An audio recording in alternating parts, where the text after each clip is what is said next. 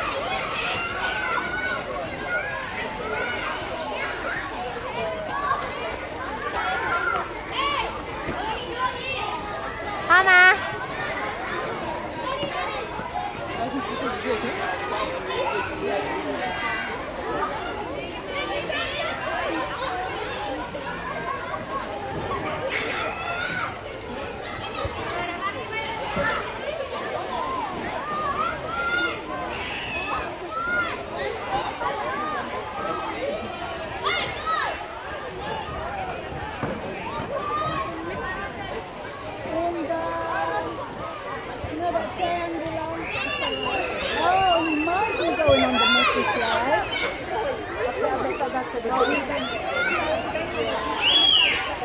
going up to the slide.